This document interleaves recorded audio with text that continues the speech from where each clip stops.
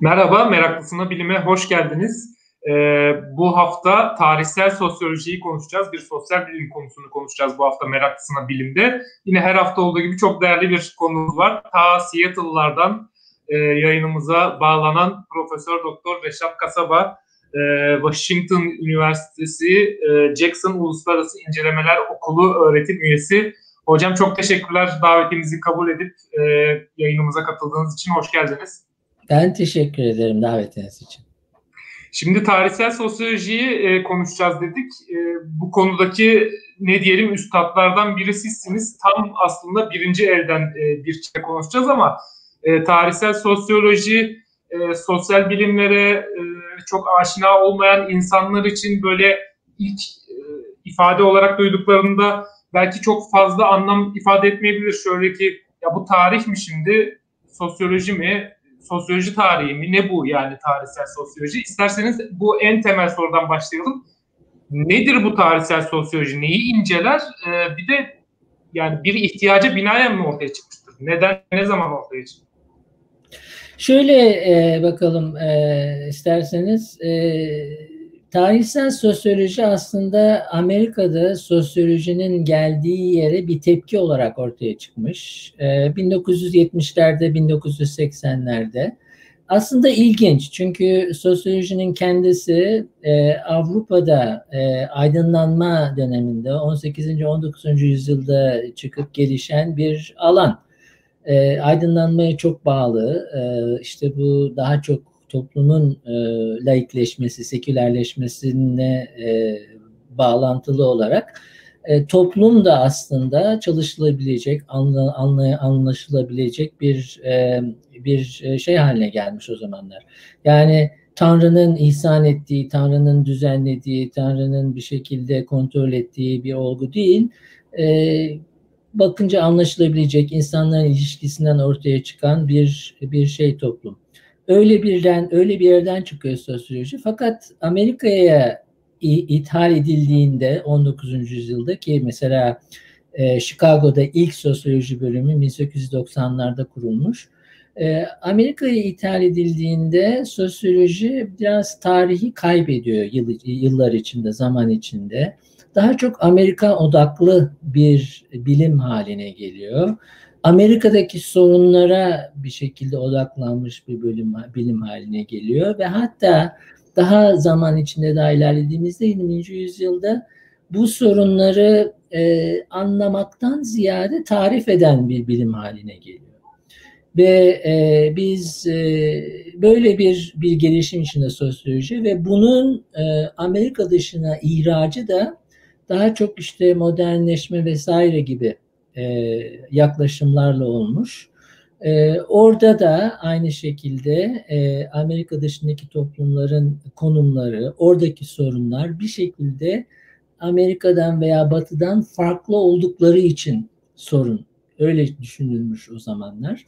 Yapılacak şey de tabii o toplumları daha çok Batı'ya benzetmek, Batı'ya yakın bir hale getirmek ee, ve bu zaman içinde bildiğimiz gibi Amerika'nın o zamanki dış politikasının da bir aracı haline geliyor. Vietnam vesaire gibi yerlerde. Böyle bir konumda 1960'larda 70'lerde her şey sorgulanıyor tabii e, dünyada batıda. E, bu sorgulanma çerçevesinde tabii bu e, toplumlar nasıl çalışılıyor, toplumlar nasıl anlaşılıyor, e, bu e, eldeki bilimler niye yetersiz böyle sorular sorulmaya başlamış. Ve bunun bir e, sonucu da e, disiplinlerin birbirlerinden böyle çok bağımsızmış gibi, çok ayrı silolar halinde çalışmalarının aslında toplum böyle toplanmış yani hepimizin kolektif anlayışına pek yardım etmediği ortaya çıkıyor. Yani bir şekilde siyaset bilimi e, nasıl olur sosyoloji olmadan veya e, iktisat sosyoloji olmadan nasıl olur? Bunlar tarihsiz nasıl yapılır? Böyle şeyler tabii e, anlaşılıyor ki biraz zor. Bunları bir cevap olarak ortaya çıkmış e, ve yani toplum nasıl ortaya çıkmış, ulus, devlet nedir, nasıl ortaya çıkmış bunların ancak e, uzun dönemde tarih içinde çalışılıp öyle anlaşılması gerektiği e, varsayımından ortaya çıkıyor. Tabii bunun içinde çok çeşitli yaklaşımlar, değişik yaklaşımlar var. Fakat ben tarihsel sosyoloji dediğimizde o sosyolojinin kurumsallaşmış tavrına bir tepki e, olarak e, görmek gerektiğini düşünüyorum. E, işin sosyoloji boyutu bu yönde bir de tarih tarafı da var herhalde değil mi? Yani tarih uzunca bir süre e, böyle kralların, savaşların, e, büyük olayların e, evet. anlatıldığı, incelendiği e, bir disiplin ya da bilim e, ne dersek diyelim şeklinde e, kalmıştı. Evet. E, adeta bir e, vakanüvislikten öteye geçmiyor gibiydi. Artık bir yerde bir yere herhalde ya bu e, Avrupa'da, Amerika'da neresi, neyse neresi inceleniyorsa oralarda herhalde sadece krallar yoktu. Biraz da köylü falan denen insanlar da vardı evet. veya işte şehirlerde sıradan insanlar da vardı. Acaba bunlar ne yapıyordu, ne yerlerdi, ne içerlerdi e, gibi bir şeyden dolayı e, bir yaklaşımdan dolayı da zannediyorum onun da bir etkisi var herhalde. Yani tarih anlayışındaki farklılık da biraz e, burada etkili herhalde değil mi? Çok doğru, çok doğru. Ee, tarihin kendisi de çok e, büyük bir değişiklikten, değişiklikten geçti. Ee, yine bu 20. yüzyılın ikinci yarısı diyelim e, ve daha çok e, ivme kazandı günümüze yaklaştığımızda. E, genel olarak toplumsal tarih tabii şimdi çok daha e, e, fazla yani herkesin ilgi duyduğu bir alan. Onun içinde de e, tarihe nereden bakılır sorusu tabii çok önemli. E, kimin e, yazdığı önemli, kimin söylediği daha önemli, nasıl anlayabiliriz e, belirli bir yerde olanı biteni. E, bakış açısı o bakımdan çok zenginleşti, çok yaygınlaştı. E, ve dediğiniz gibi bu e, kralların, e, güçlü insanların e, arkada bir şekilde tabii öyle insanlar daha çok arkaya bir takım kayıtlar, bir takım evraklar bırakmış.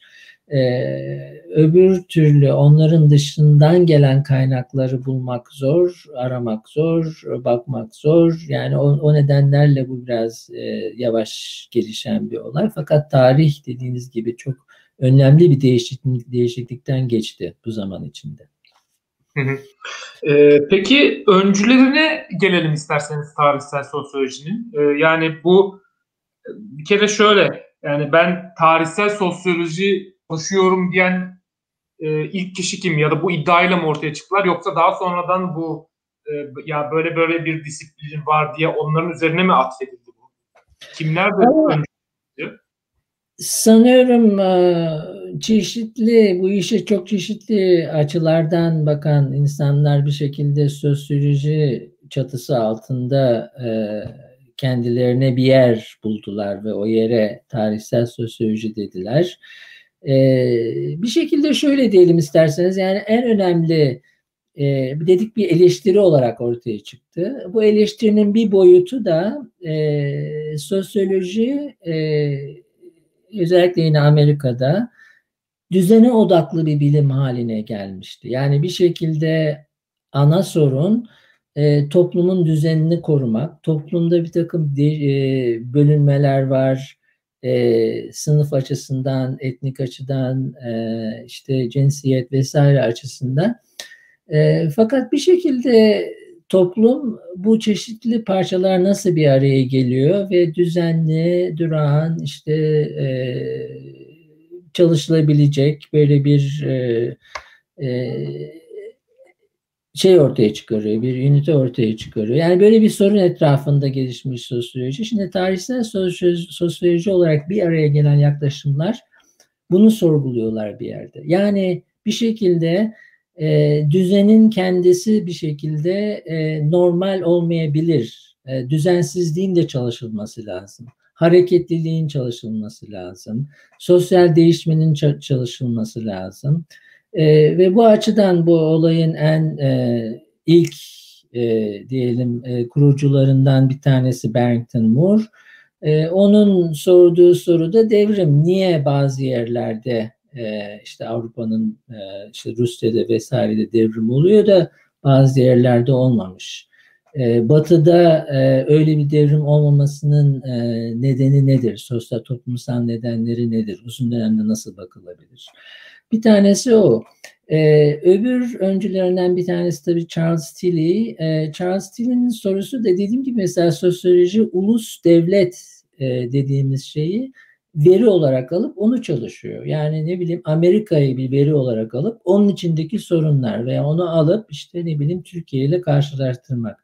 Charles Tilly'nin e, e, getirdiği bu olaya e, devlet denen şey nedir? Nasıl ortaya çıkıyor? E, kimlerle nasıl ilişki halinde ortaya çıkıyor? Ve devlet toplum ilişkileri nedir? Yani bir şekilde devleti böyle çok e, ne bileyim bir veri olarak alıp hiç düşünmemek yerine biraz daha bakmak buna ve söylemek ya ve, ve onun söylediği şeylerden bir tanesi aslında devletin içinde de bunun devlet olmasını isteyen bir takım çıkarları olan bir takım insanlar var ve bunları kullanarak kendi e, ayrıcalıklı konumlarını toplumda e, koruyorlar tarihi içinde. Yani böyle bir e, onu bir sorgulamak var. E, üçüncü e, isim olarak ben tabii bunların hepsinin e, devam eden e, çok önemli yazarlar var, e, araştırmacılar oldu. Ee, üçüncüsü olarak da e, Emmanuel Wallerstein var ki benim de e, danışmanımdı. E, geçen sene kaybettik onu. Onunki biraz daha yine benziyor öbürlerine ama onun sorusu da bu o zamanlar 60'lar 60 yıllarda çok yaygın olan bu ekonomik kalkınma tartışması vardı. Bir şekilde ne yaparız da kalkınırız soruları. E, bunu tabii bir şekilde değiştirip e, az gelişmişlik, işte fakirlik vesairenin nedeni e, batıdan uzak olmak, batı ile ilişki halinde olmamak değil. Aslında tam tersi batı ile olan ilişkilerin niteliği e, bazı ülkelerde fakirliği ve az gelişmişliği yarattı e, gözleminden ortaya çıkıp bunu e, çok uzun dönemdeki dünyada kapitalizmin gelişmesinin çok uzun dönemdeki bir çalışmasında, çalışmaların sonucunda e, ortaya çıktığını e, anlattı Wallerstein. Yani bir yerde diyelim Tilly bu olayı biraz daha siyasi açıdan, devlet açısından bakıyor. Barrington Moore e, sosyal hareketlilik, devrim vesaire Wallerstein daha böyle çok geniş bir e, araştırma birimi olarak dünyada kapitalizmin gelişmesine bakıp onun içinde çeşitli ülkelerin,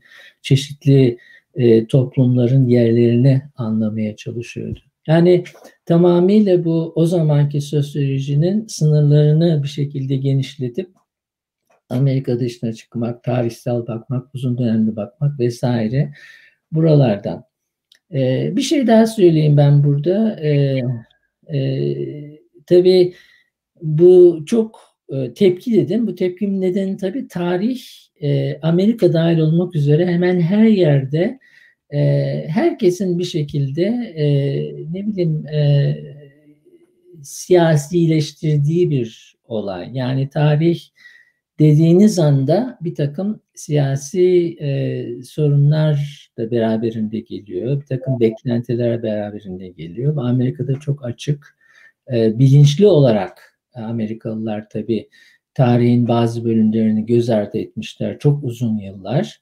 Ee, ve o nedenle bir biraz da sosyolojinin gelişme biçiminde tarihi biraz göz ardı edilmiş. Fakat bunu açtığınız anda tabii Buna karşı tepkiler de çok büyük olabiliyor. O bakımdan yani olay sırf böyle entelektüel bir e, ne bileyim tartışma, e, entelektüel bir olay değil. Onun da ötesinde siyasi e, bir takım e, e, açıları da var, siyasi boyutları da var. Onu da e, düşünmek gerekiyor.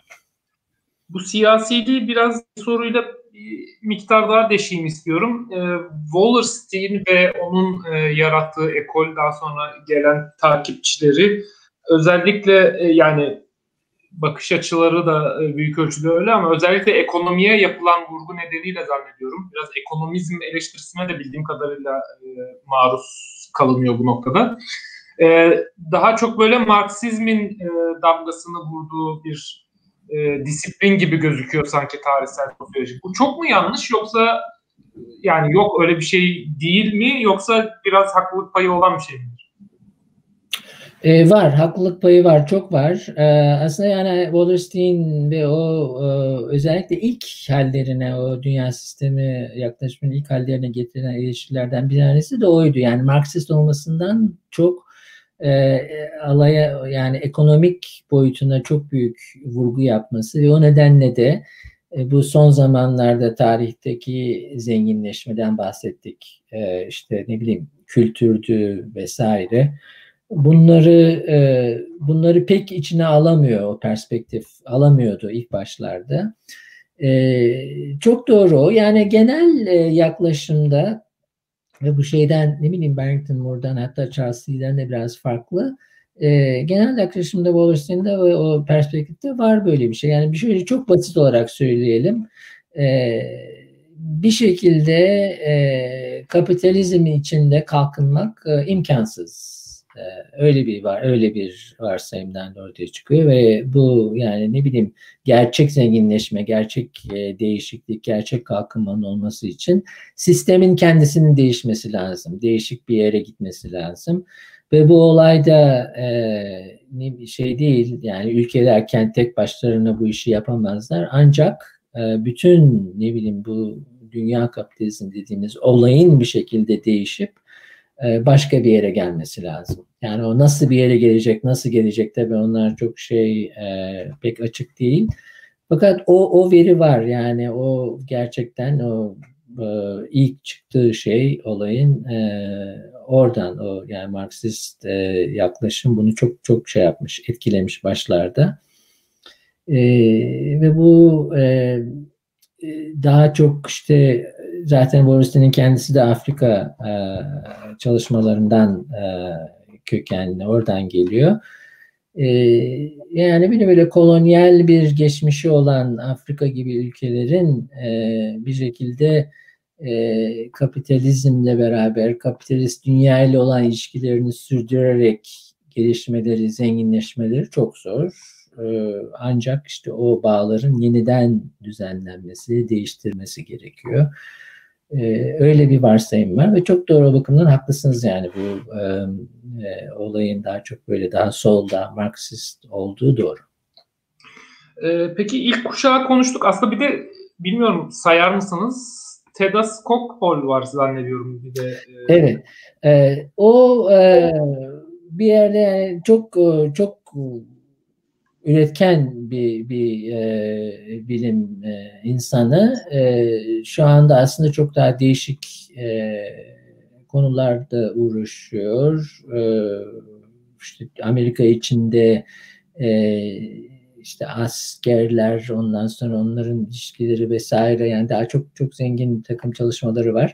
Fakat başlarda Scotchball çok e, e, Barrington Moore'un e, getirdiği bu dediğim demin de söylediğim bu e, sosyal hareketler, e, devrimler vesaire e, bu hareketleri sosyolojik anlam. Yani dediğim bu klasik sosyolojinin düzene verdiği, düzenliliğe, durga, e, durağanlığa verdiği önemi sorgulayıp e, aslında e, sosyal değişmenin, devrimin vesaire de bilimsel olarak çalışılıp anlaşılabilirliğini e, iddia ediyor. Öyle oradan başladı Scorchpol. E, onun ilk kitabı e, e, oydu. E, çok da etki yaptı e, ve çok önemli bir insan hala. Peki bu ilk kuşaktan sonra e, bugüne biraz daha yaklaşırsak şu an e, şu an ya da bundan işte bir son 20 yılda diyelim e, 2000'lerde e, evet. dünyada e, bu akımı temsil eden e, kimler vardır?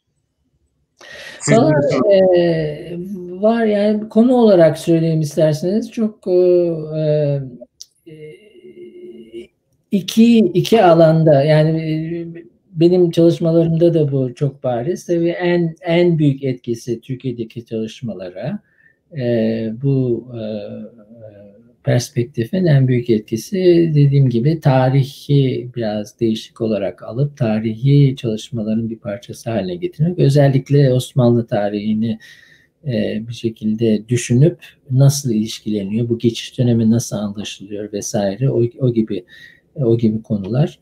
E, ve nelerde bu? Yani Türkiye'de de böyle, Türkiye dışındaki çalışmalarda da buna benzer örnekleri var. Ee, üzerinde yoğunlaşılan konuların bir bölümü e, etnik çatışma, etnik ilişkiler, e, e, ondan sonra işte bu identity olayları, e, bunlar önem kazanıyor. E, ikincisi uzun dönemli dedik, tarihsel perspektif çok uzun dönemli bakılan çalışmalar. Burada da iklim, e, iklimle ilgili çalışmalar, işte uzun dönemdeki bu iklim, iklim değişikliklerinin topluma olan etkileri. E, aslında bu konuda e, e, çok ilginç kitaplardan bir tanesi de yine bizim bizim kuşaktan fakat çok genç kaybettiğimiz Faruk Tabağ'ın bir kitabı var. E, bir yerde e, Brodel'in bıraktığı yerden Akdeniz'e bakıp Akdeniz'in 18. yüzyıldaki e, e, koşullarını inceleyen bir çalışması vardı onun. E, e, bunlar e, bunlar önemli. E, bir de e, göç olayı tabii e, önem kazanıyor. Hem e, uzun dönemli kıtalar arası, bölgeler arası göç fakat aynı zamanda da e, Türkiye, Güney Amerika, Asya gibi yerlerde şehirleşme, onun onun getirdiği sorunlar da e, çalışılıyor. Yani onu yine söyleyeyim, baştan söyledim. E, sırf bunu böyle bir işte ne bileyim e, bir sorun olarak e, ortaya koyup nasıl çözebiliriz şeklinde bakmaktan ziyade bunu tarihsel konumunda anlamak, e, tarihsel e, çerçevede anlamak. E, bunun sonucunda da o tarihsel dinamik, din, dinamiklerin ortaya çıkardığı bir sorun olduğunu anlayabilmek. Yani onu o, o göç veya ne bileyim şehirleşmeyi öyle bir perspektiften anlamak. Bunlar şimdi bana çok ilginç gelen çalışmalar. Bir de tabii dediğim gibi yani bunlar sırf tarihsel sosyoloji değil, tarihin kendi e, değişiminden de kaynaklanıyor. E, orada da e, dediğim gibi bu yeni perspektiflerden ne bileyim e, aile tarihleri, işte kadın ilişkileri, kadınların konumu, e, onların getirdiği sorular, e, din olayı tabii çok önemli. Onu bir şekilde e, geçmişten kalan işte ne bileyim değişmesi gereken bir e, şey olarak görmeyip onu da böyle bu toplumsal değişimin bir parçası olarak görmek vesaire. Bunlar çok ilginç şeyler. Yani bu e, toplumdan çıkan, toplumda görüş gördüğümüz bir takım e, olayları tarihsel bir kavrama, e, bir kontekste koyup oradan anlamaya çalışmak. Peki e, biraz hızlanalım süremiz daralırken. Türkiye'ye gelelim. E, tarihsel sosyoloji Türkiye'de zannediyorum ilgi çekmiş bir şey. Çünkü e, genelde hep şu soru etrafında dönüp duran tarihi, sosyolojik, siyasi, ekonomik bir tartışma vardır ya biz neden geriyiz? Ya da sanayileşmeyi neden yapamadık ya da geç yaptık ya da Osmanlı daha doğrusu diyelim. Evet. E, bu ve benzeri sorular nedeniyle e, zannediyorum özellikle ilk çıktığı dönemde bayağı ilgi çekmiş olmalı e, diye tahmin ediyorum. Kimdir Türkiye'de e, bunu evet. ithal eden ya da e, bulan ya da ilk temsilcileri olan kişiler? Valla şimdi e, Türkiye'de sosyoloji işte bulan getiren insan Ziya Gökalp denir. Ziya Gökalp çok önemli. Ee, gerçekten de Ziya Gökalp'in işte bu Avrupa'da ne bileyim özellikle Durkheim'la ondan etkilendiği söylenir. Ee, böyle bir yani ilginç aslında e, Amerika'ya çok e, odaklandık. E, fakat e, Türkiye'de kendi başına Avrupa'dan bir şekilde etkilenerek sosyolojiyi çok e, başlardan beri sosyolog diyebileceğimiz sosyoloji çalışan bir takım insanlar olmuş Türkiye'de. Ziya Gökalp'ten bahsettik. Ondan sonra biraz daha e, yakın diyelim ondan bir, birkaç işte birkaç on yıl sonra ortaya çıkıyor bunlar tabii. Niyazi Berkes çok önemli bir insan. E, biraz daha yaklaşırsak işte Şerif Mardin, daha böyle Türkiye içinde bu şehirleşme vesaire konularıyla ilgili Ruşen Keleş, ondan sonra Cavit Orhan Tütengil yani bunlar yaklaşımları açısıyla ne bileyim sosyolog, sosyolog olarak düşündüğümüz insanlar. E, fakat Amerika'nın tersine e, Türkiye'de baştan beri bu olay e, tarihle iç içe olarak düşünülmüş. Yani e, ne bileyim tabii Ziya Gökalp'in kendisi malum. E, bir Niyazi Berkes'e bakarsanız Niyazi Berkes de aynı şekilde e, Türkiye'de çağdaşlaşma onun önemli kitabı. E, tabii onu 19. yüzyıl tarih e, Osmanlı e, kapsamında anlamaya çalışıyor. E, Şerif Mardin aynı şekilde. Yalnız şöyle bir şey var. E, yani bunların hepsinde e, dediğim bu ulus devlet olayı bir şekilde e, genel şeyleri, odaklandıkları konu. Fakat şöyle bir e, sorun var Türkiye'de.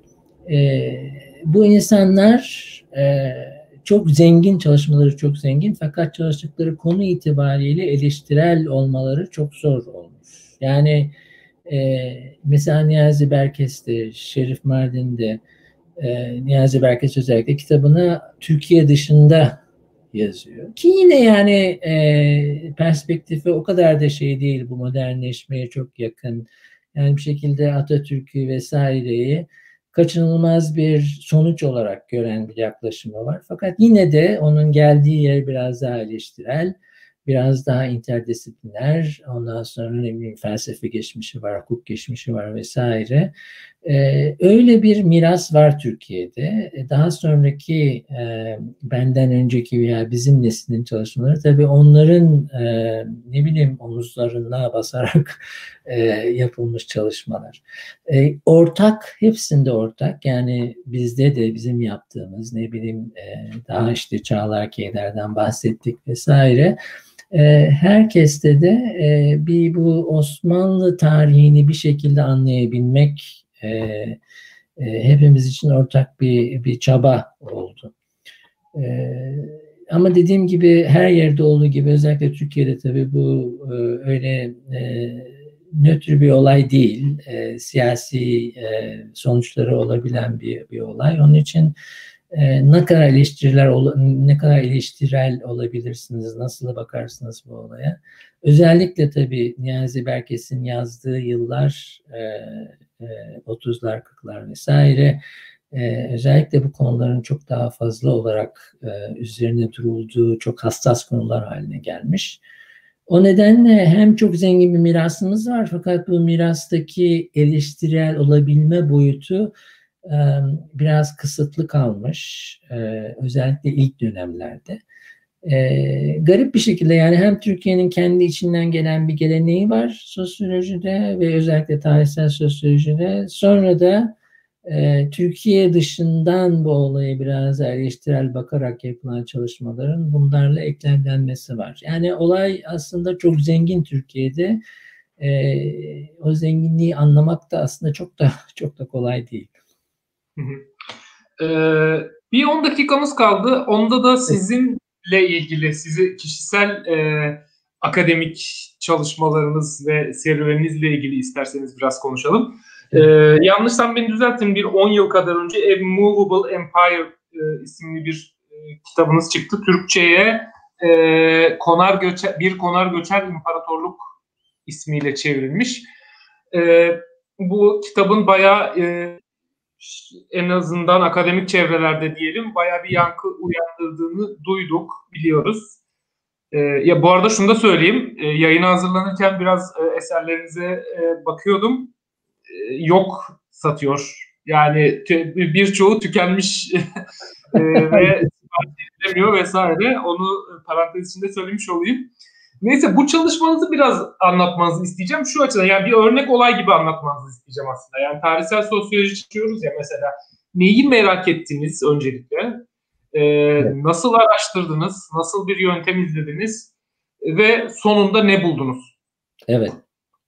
Valla şöyle e, e, çok e, yani o, o çalışma e, daha önce çalıştığım konularda işte ne bileyim ben İzmir'le ilgili bir şeyler yaptım. E, e, daha çok iktisadi tarih, sosyal tarihe benzer çalışmalar. E, onları çalışırken devamlı okuduğum her kaynakta, belgede vesairede e, devamlı bir referans vardı bu e, göçmenler vesaire, muhacirler, şunlar bunlar. Yani böyle bir hareketlilik var. Tabii bu hareketlilik e, bizim o zamanki e, anlayışımız Osmanlı İmparatorluğu, bürokrasi, devlet vesaire e, onunla nasıl ilişkileniyor bu diye bir soru. Şimdi bu tabii o o ortamda e, yani oradan çıkan bir, bir bir çalışma, o sorudan çıkan bir çalışma ve bunun bağlandığı daha çok güncel e, konuma ne oldu ne bitti o zamanlar ve hala dünyada ne oluyor onlarla olan bir bağlantısı da var. O bağlantı da e, devamlı olarak göç olayının, hareketlilik olayının bir şekilde anormal bir şey oldu. Yani bir şekilde e, göçmenler bir yere yerleştirilmeli. Göçmenler bir şekilde kontrol edilmeli. Göçmenlik veya hareketlilik bir sorun, çözülmesi gereken bir sorun. Şimdi tabii bunun e, insani boyutundan çok o, sorunları var. Ne bileyim işte ne bileyim bir, bir şekilde e, insanların bir yerde güvenli olmaları falan öyle şeyleri anlıyorum tabii. Fakat bu olay böyle bu kadar uzun dönemde ve bir şekilde hiç e, kaybolmadan e, devam eden bir olgu ise e, dedim o zamanlar. Bunun nasıl bir işlevi vardı? Yani neden neden bu olay bu kadar devam etmiş? E, kontrol edilme çabalarına rağmen. E, ve biraz düşününce e, bir, bir gözlemim benim aslında bu göçerlilik veya bu hareketliliğin Osmanlı İmparatorluğu için e, çok da e, bir şekilde gerekli bir şey olduğunu e, gözlemledim. Yani bir şekilde Osmanlı İmparatorluğu çok büyük, çok güçlü, çok başarılı vesaire.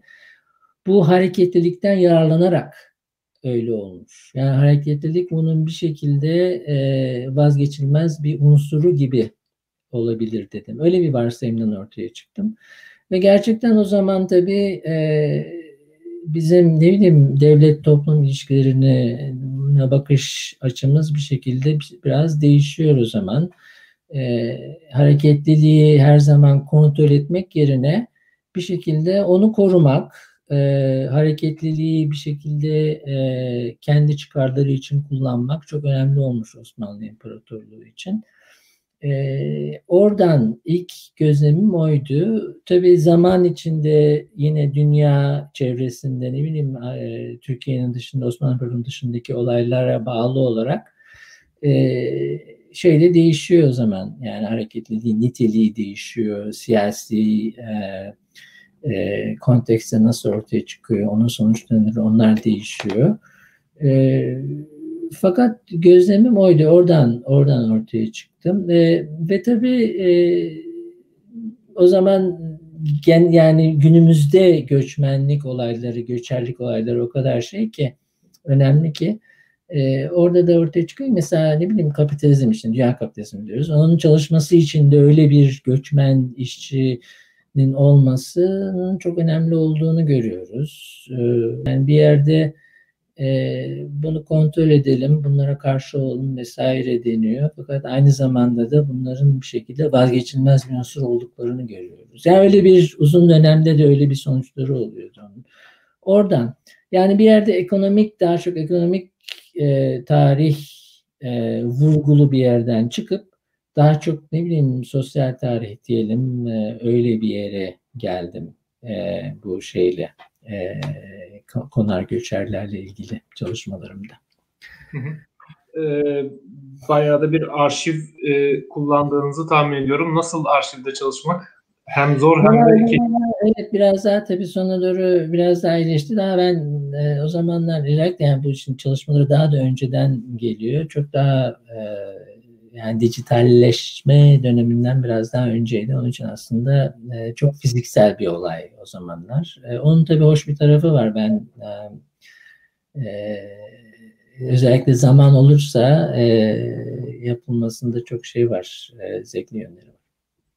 E, tabii sizin gibi tarihsel sosyoloji gibi işte başta konuştuğumuz şekilde çok interdisipliner çalışmak da bir yandan çünkü giderek uzmanlaşma artıyor ve inanılmaz sayıda her alanda yani tarihten çıkıyor, tarihin işte bir sürü alanı var onlardan çıkıyor, sosyolojiden çıkıyor, onun kendi alt alanlarından çıkıyor, siyaset biliminden çıkıyor, ekonomiden çıkıyor vesaire. Yani bu kadar artık bir e, bilgi e, üretiminin olduğu bir zamanda bu kadar interdisipliner çalışmak zor bir şey değil mi?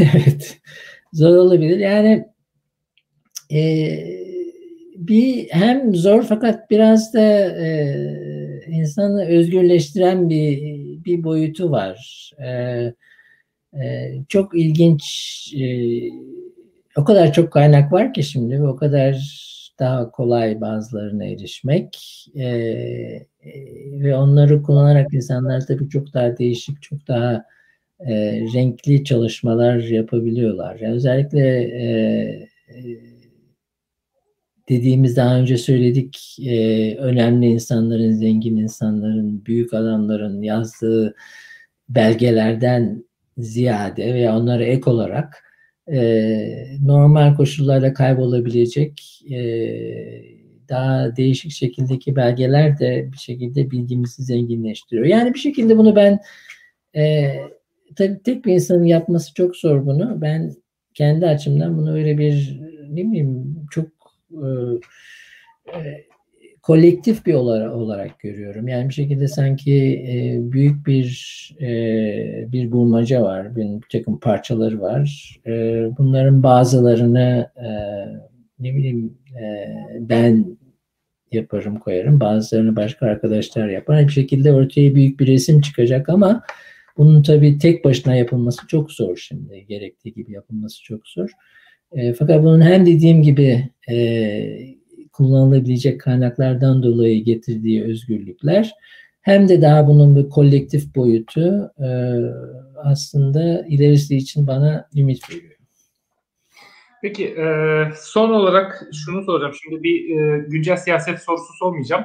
Ama siyaset, Türkiye siyasetini daha doğrusu, e, Türkiye toplumunu siz malum Seattle'da, Amerika Birleşik Devletleri'nde yaşıyorsunuz. Yakinen e, takip edebiliyor musunuz? Bunu şunun için soruyorum son zamanlarda böyle e, üzerinde çalıştığınız veya çalışmıyor olsanız bile kafanızda bir soru var mı ki e, onun cevabı bir tarihsel sosyoloji çalışmasına dönüşsün mesela? Var, var. Şimdi aslında özünde benim çalıştığım konu e, çok çok bağımlı. E, sırf Türkiye değil yani bir takım toplumlara çok bağımlı. Bu e, çok genel olan e, anlamda ben e, ne bileyim e, şehirsel kırsal bölge ayrımını e, bir şekilde yeniden incelemeye başladım. E, ve bunu bir şekilde eskiden ilk zamanlarda tabii bu köy şehir e, çalışması olarak düşünülüyordu. Şimdi bu bölünmenin yani bu ayrışmanın bir yerde e, bazı bakımlardan tabii çok değişti. Fakat e, bazı bakımlardan da bu ayrışma şehirleşmenin sonucunda e, tabii büyük şehirlerimizin ortasına geldi ve orada hala var. Bu ayrışmanın bir bölümü, bir boyutu hala iktisadi, fakirlik vesaire. Fakat öbür boyutu da hem kültürel hem siyasi e, ve Türkiye'deki siyasetin bir boyutunun ben bu ayrışmayı bir şekilde siyasi çıkarlar için kullanmak olarak görüyorum. Yani bunu e, tü, şimdi politics of resentment deniyor. Belki belki politics of yani Türkiye'de kızgınlık siyaseti olarak e, çevirebiliriz. Yani hem kızgınlık e, biraz bir e, kıskançlık boyutu da olabilir. E, o o çatışma bir şekilde şehirleşmenin sonunda çok daha böyle bir bariz hale gelmiş gibi geliyor bana. E, ve onu da e, siyaset için tabii kullanılıyor çok çeşitli nedenlerle. E, onu e, neden yani bir şekilde e, bir soru olarak düşünürsek bunu neden yani hala bugün Türkiye'de e, nüfusun yarısından çoğu şehirlerde yaşamasına rağmen neden bu uçurum hala orada? Neden bu ayrılık hala orada ve bunun nedenleri nedir? E, böyle bir soruyla e, uğraşıyorum son zamanlarda. Ee, peki bizi de merak ettirdiniz. Bakalım ne çıkacak e. Hocam çok teşekkürler. Ben teşekkür ee, ederim. Ee, çok güzel. Şu koronavirüsten bir kurtulabilirsek ve e, Türkiye'ye, İstanbul'a geldiğiniz bir dönemde sizi stüdyomuzda da konuk etmekten büyük mutluluk e, duyarız. E, tekrar teşekkür ediyoruz konuğumuz çok olduğunuz sevinirim. Çok sevinirim. Çok teşekkürler. Çok memnun oldum. Ve herkese iyi yıllar da diliyorum bari. Biz de size e, iyi yıllar diliyoruz. İzleyicilerimize de şimdiden bu meraklısına bileyim son e, 2020'nin son programıydı. O yüzden e, şimdiden biz de izleyicilerimize yıllar dileyelim. E, ne diyelim umarız 2020 gibi olmaz daha iyi olur 2021. 2020'yi pek ileride e, hoş hatırlayamayacağız. Her neyse e, bizi izlediğiniz için teşekkür ediyoruz. Hoşçakalın.